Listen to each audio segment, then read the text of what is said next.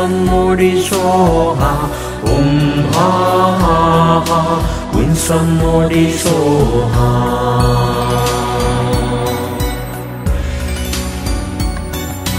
um ha ha ha when somebody so ha um ha ha ha when somebody so ha um ha ha ha when somebody so ha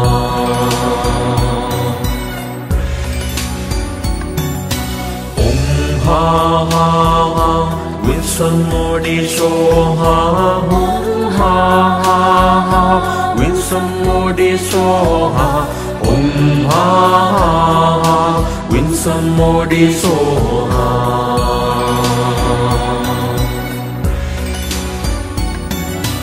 ôm ha ha ha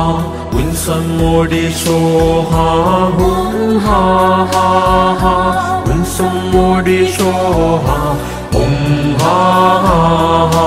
ोहान् सम्मोरिशोहा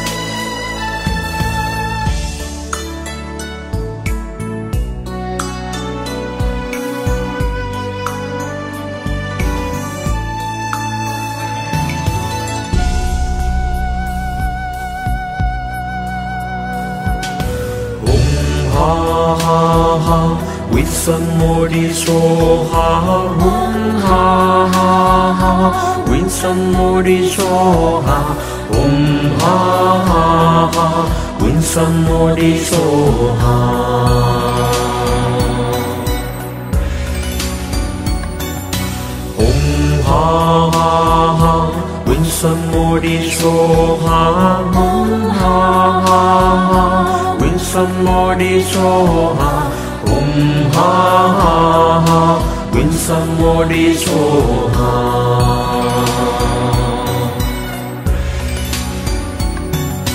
嗡哈哈哈，为什么你说哈嗡哈哈哈，为什么你说哈？Ha ha ha. Winston đi so ha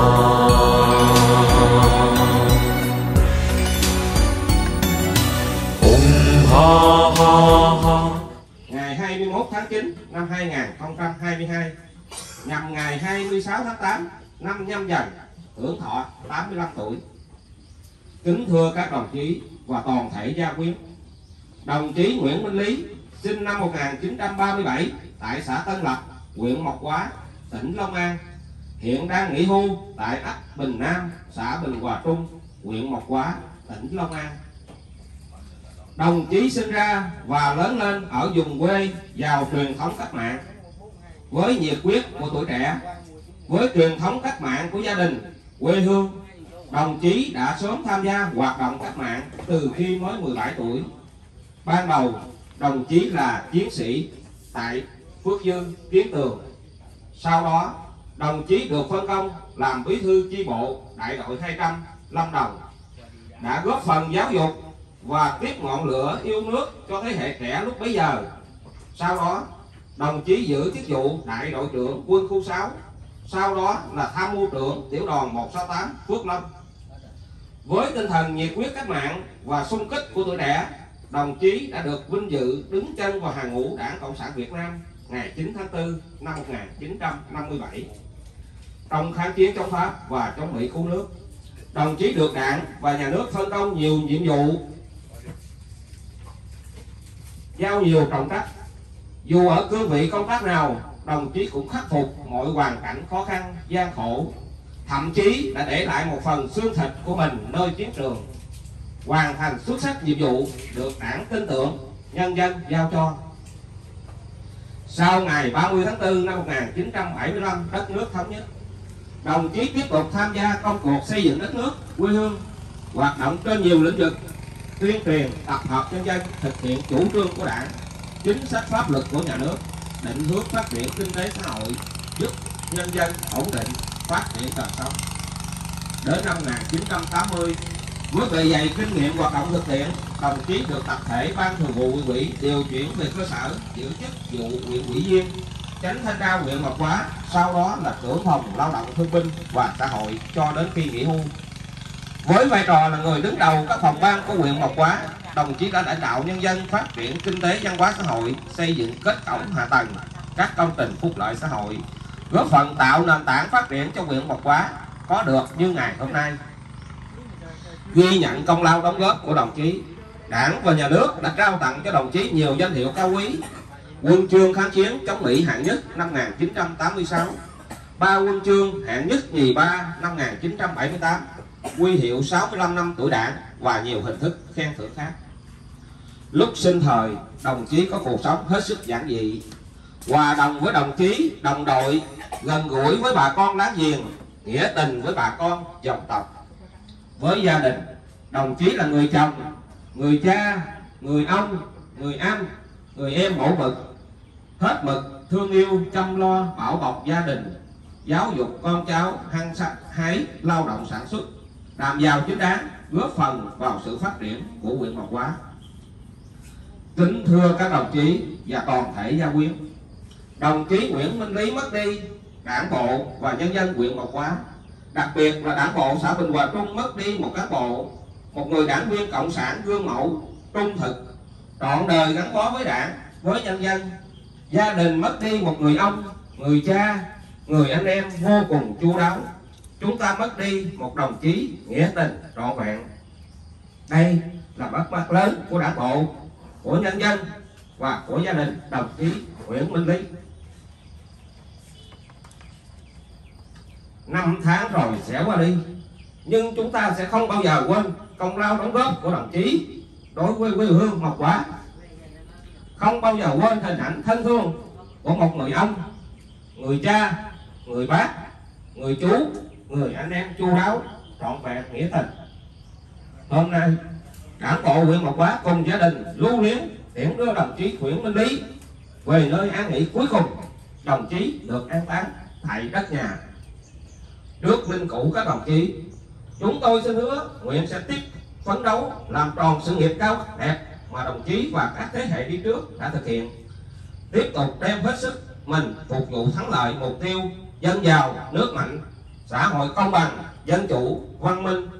Con cháu các đồng chí nguyện sẽ noi gương phấn đấu học tập, công tác tốt, lao động hăng sai yêu thương đồng bọc lẫn nhau để xứng đáng với lòng mong mỏi của đồng chí xin vĩnh việt đồng chí Nguyễn Minh Lý, người đồng chí thân yêu của chúng ta. Chúng ta hãy dành một phút mật niệm để tưởng đưa đồng chí Nguyễn Minh Lý về cõi vĩnh hằng. Phút mật niệm bắt đầu.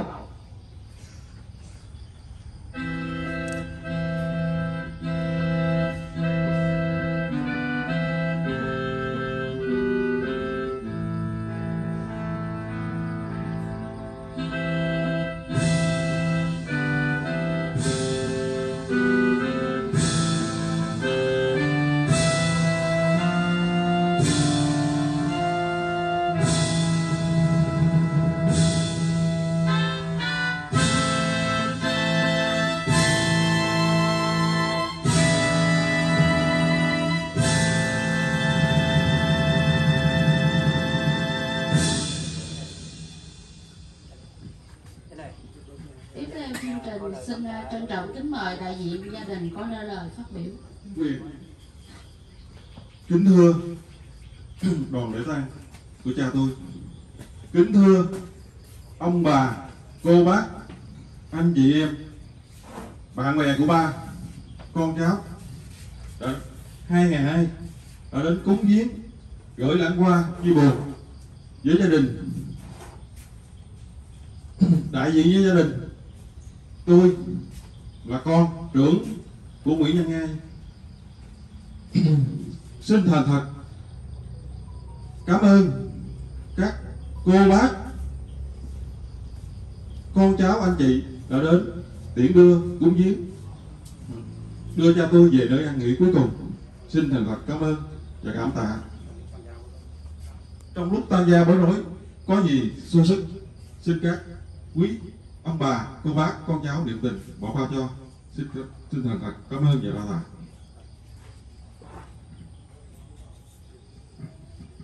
Kính thưa ban lễ tang kính thưa gia quyến cùng bà con cô bác. À, sau đây xin kính mời các đồng chí quý bà con cô bác thắp nén hương à, giếng đồng chí Nguyễn Nhân Ngai lần cuối cùng. Xin kính mời.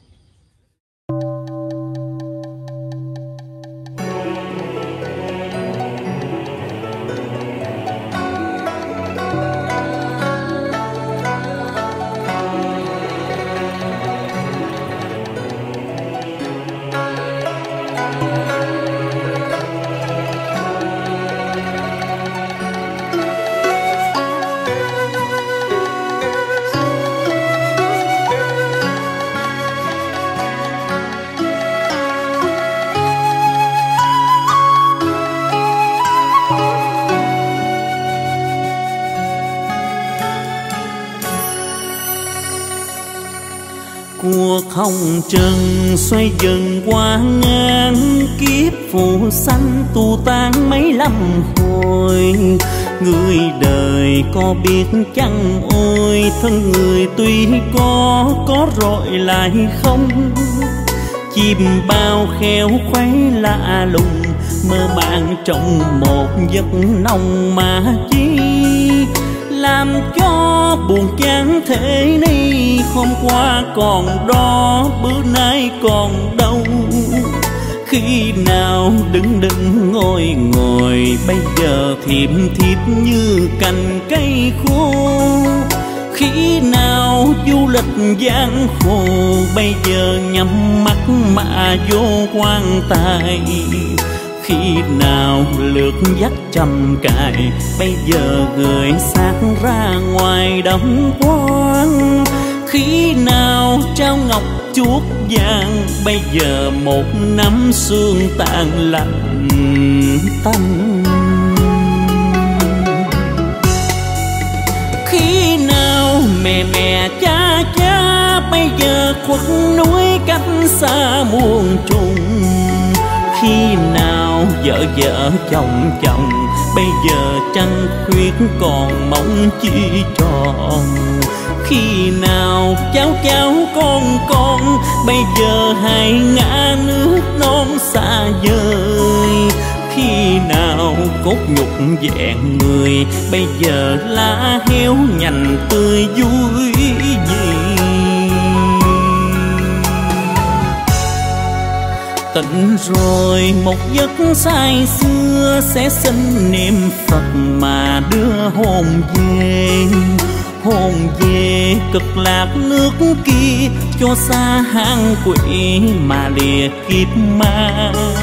Nhờ ơn đức phật di đà, phóng ra một ngọn chổi lò hào quang trong khi tiếp dẫn rõ ràng, dắt hồn ra khỏi sao đàn nghiệp nhân.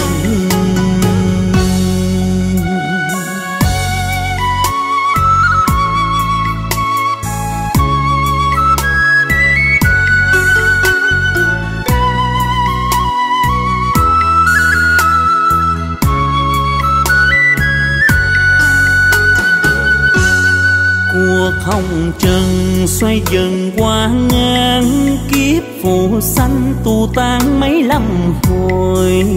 Người đời có biết chăng, ôi, thân người tuy có có rồi lại không? Chim bao khéo khuấy lạ lùng, mơ màng trong một giấc nồng mà chi? Làm cho buồn chán thế ni. Hôm qua còn đó, bữa nay còn đâu. Khi nào đứng đứng ngồi ngồi bây giờ thiệp thiệp như cành cây khô. Khi nào du lịch giang hồ, bây giờ nhắm mắt mà vô quan tài khi nào lượt dắt trầm cài, bây giờ gửi xác ra ngoài đóng quán khi nào trao ngọc chuốt vàng, bây giờ một năm xương tàn lạnh tâm khi nào mẹ mẹ, cha cha, bây giờ khuất núi cách xa muôn trùng khi nào vợ vợ chồng chồng, bây giờ trăng khuyết còn mong chi tròn. Khi nào cháu cháu con con, bây giờ hai ngã nước non xa vời. Khi nào cốt nhục vẹn mười, bây giờ lá heo nhành tươi vui gì? Tận rồi một giấc say xưa sẽ xin niệm phật mà đưa hồn về. Hồn về cực lạc nước kia, cho xa hang quỷ mà lìa kiếp ma. Nhờ ơn đức phật di đà, phóng ra một ngọn chổi lò hào quang trong khi tiếp dẫn rõ ràng, dắt hồn ra khỏi sao đàn nghiệp nhân. Trong khi tiếp dẫn rõ ràng, dắt hồn ra khỏi sao đàn nghiệp nhân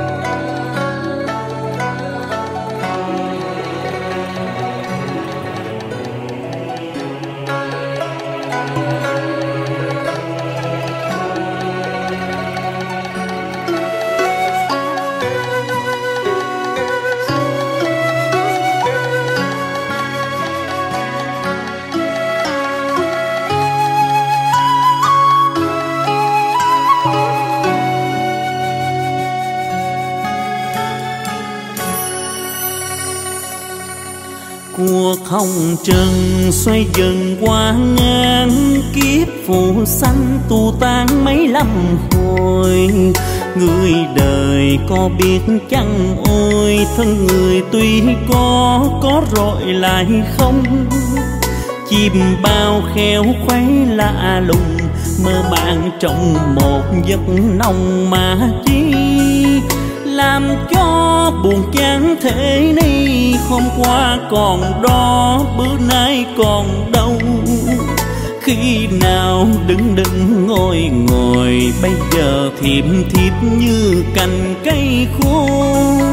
Khi nào du lịch giang hồ, bây giờ nhắm mắt mà vô quan tài khi nào lượt dắt trầm cài, bây giờ gửi xác ra ngoài đóng quan khi nào trao ngọc chuốt vàng, bây giờ một năm xương tàn lạnh tâm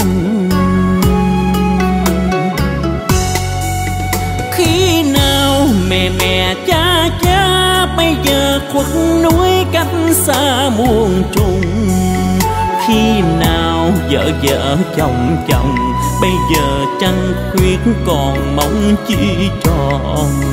Khi nào cháu cháu con con, bây giờ hai ngã nước non xa vời. Khi nào cốt nhục vẹn người, bây giờ lá heo nhành tươi vui gì? Tận rồi một giấc say xưa sẽ xin niệm phật mà đưa hồn về. Hồn về cực lạc nước kia, cho xa hang quỷ mà lìa kiếp ma. Nhờ ơn đức phật di đà, phóng ra một ngọn chổi lò hào quang.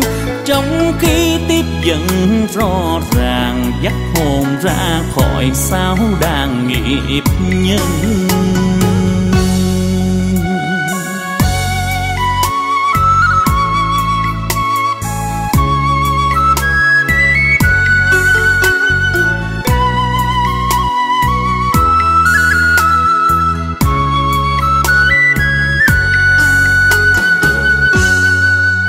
Hồng trần xoay dần qua ngang kiếp phù sanh tu tan mấy lăm hồi. Người đời có biết chăng ôi, thân người tuy có có rồi lại không? Chim bao khéo khuấy lạ lùng, mơ màng trong một giấc nồng mà chi? Làm cho buồn chán thế ni, hôm qua còn đó, bữa nay còn đâu. Khi nào đứng đứng ngồi ngồi bây giờ thiệp thiếp như cành cây khô. Khi nào du lịch giang khô bây giờ nhắm mắt mà vô quan tài. Khi nào lượt dắt trầm cài, bây giờ gửi xa ra ngoài đóng quán khi nào trao ngọc chuốt vàng, bây giờ một năm xương tàn lạnh tâm khi nào mẹ mẹ, cha cha, bây giờ khuất núi cách xa muôn trùng khi nào vợ vợ chồng chồng, bây giờ trăng khuyết còn mong chi tròn. Khi nào cháu cháu con con, bây giờ hai ngã nước non xa vời.